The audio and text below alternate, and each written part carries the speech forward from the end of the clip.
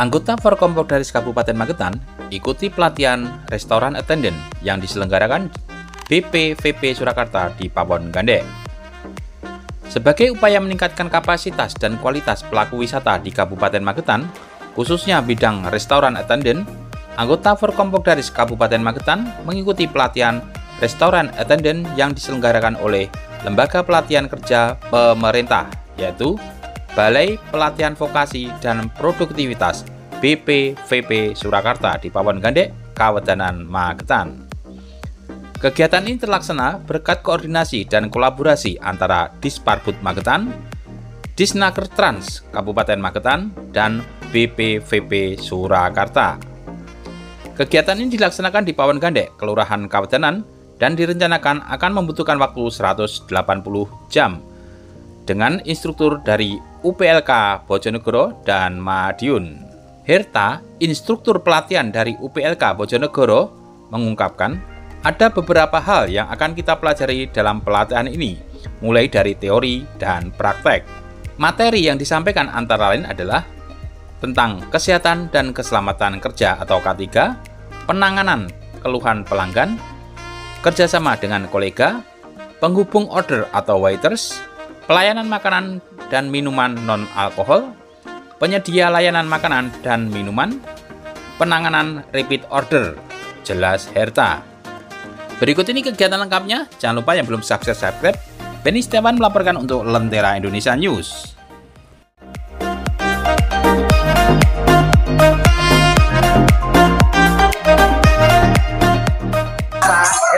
Siap selamat sore Pak Beni. Kebetulan saya dari Bojonegoro Pak. Ini sedang ada pelatihan di Kawedanan. Oke. Oke. Uh, sudah berapa hari Pak untuk kegiatan hari?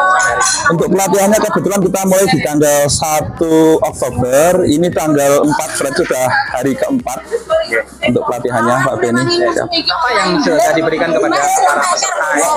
Untuk materi yang kita berikan yang pertama adalah tentang materi restoran attendant untuk materi utamanya.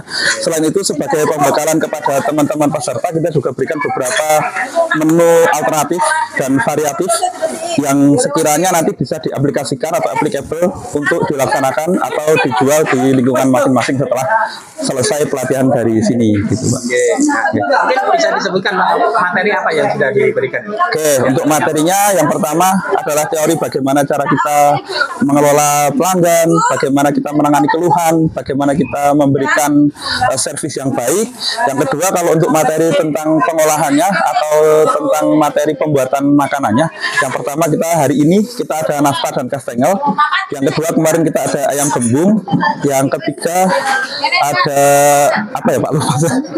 Oke, Donat dan- lain-lain ya ada roti boy juga beberapa materi itu ya. Oke, siap. Nah, itu pilihan materi itu yang menentukan dari ya, dari uh, pelatih, instruktur atau dari peserta yang memilih itu? Baik, jadi untuk pilihan materi yang pertama kita ambil dari Stankom atau standar materi dari kementerian gitu ya. Terus yang kedua kita juga mengakomodir daripada eh, potensi lokal yang ada di daerah tersebut. Misalnya kita sekarang ada di Kawedanan, kira-kira apa yang nanti teman-teman bisa produksi di sini atau apa yang kira-kira nanti bisa menjadi tambahan penghasilan untuk teman-teman yang bisa dijual di sini, kira-kira bisa menambah income juga untuk membantu ekonomi keluarga. Oke, siap. Nah, mungkin yang terakhir ini, melihat animo dari para peserta nih, benar-benar uh, jalan sebagai. Pak. untuk animo dari peserta sangat-sangat bagus. Saya kira ini sangat-sangat antusias dan saya harap ke depan tidak hanya berhenti di pelatihan ini, tapi bisa juga dilanjutkan untuk dilaksanakan sebaik mungkin di rumah, terutama sebagai untuk membantu ekonomi keluarga, minimal untuk menambah nutrisi bagi keluarga. Gitu.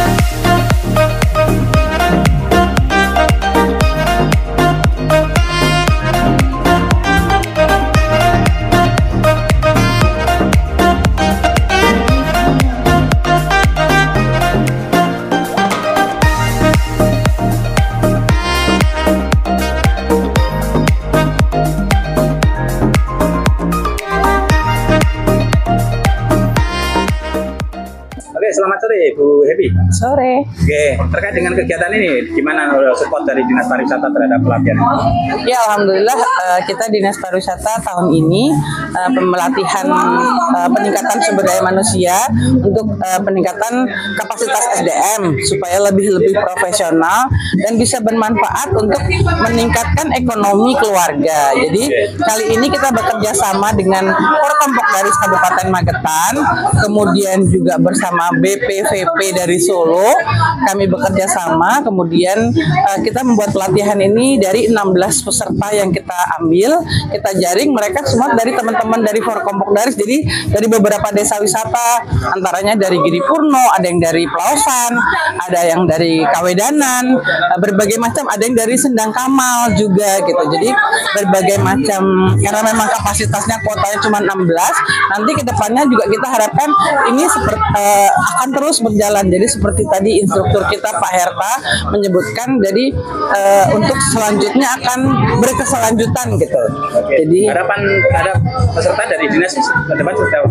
Alhamdulillah ini kan yang udah ada sekarang ini mereka guyup ya kebetulan kompak gitu terus jadi ke depannya kita harapkan yang eh, pelatihan seperti ini akan terus kita adakan dan mungkin kita sasaran yang lain kita eh, lebih eh, ke lainnya jadi se- seluruh eh, desa wisata yang ada di sini bisa tercakup gitu jadi eh, pemerataan dan kemudian kita supaya tidak ada ketimpangan lah antara udah eh, daerah wisata yang di barat dengan di selatan atau di timur seperti itu jadi Oke, merata siap. semua. Terima kasih Bu informasinya. Apa eh, mudah-mudahan apa yang sudah dilakukan oleh dinas menjadi berkah untuk semuanya. Amin, amin. Allahumma ya mujibah da'wat. Oke, makasih mantap dulu. Terima kasih.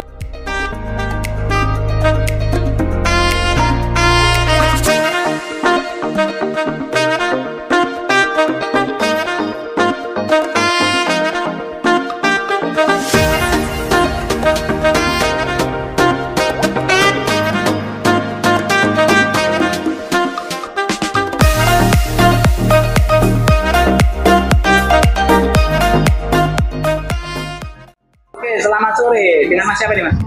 Selamat sore dengan saya Mas Ilham dari Pelausan. Oke, nah eh, sudah beberapa hari mengikuti pelatihan eh, restoran attendant ya yang dilaksanakan oleh Dinas Pariwisata bersama BPVP dari Solo ya. Nah itu alasan jenengan kok mengikuti kegiatannya apa Mas? Ya, alasan saya mengikuti kegiatan eh, pelatihan kali ini yang nomor satu yaitu saya belum pernah mengikuti sebelumnya belum pernah pengalaman masak memasak dan juga yang kedua saya pengen sekali untuk belajar ini masak ini. Nah, untuk beberapa hari ini sudah sudah membuat yang pertama yaitu membuat donat. Gimana caranya membuat donat yang dari awalnya saya tidak tahu semuanya bisa menjadi tahu. Dan yang kedua membuat ayam gembul. Ayam gembul itu kalau saya pikir juga agak sulit-sulit, agak mudah. Ya pokoknya istilahnya itu gampang-gampang susah lah gitu dan yang hari ini tadi tadi membuat kue nas nastar yang kelihatannya itu gampang ternyata juga sedikit susah Oke, siap. Nah, di kegiatan pelatihan ini kan bukan cuma teori ya, Ya. banyak prakteknya.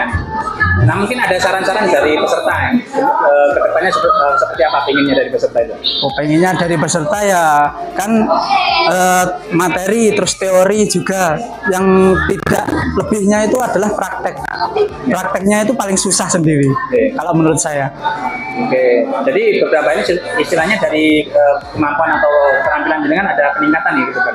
Alhamdulillah ada peningkatan sedikit demi sedikit tapi nggak langsung bisa gitu Oke. semua itu kan melalui proses gitu Ya. Nah, setelah ini rencana ke depan seperti apa? rencana ke depannya ya mungkin saya yang awalnya itu kurang tahu sekarang udah menjadi tahu insya Allah bisa mengembangkan di daerah saya yaitu daerah Pelausan bisa meningkatkan lebih tinggi lagi masalah eh, kuliner dan sebagainya itu Oke. Terima kasih Mas. Mudah-mudahan ilmunya menjadi berkah dan manfaat. amin Forkompok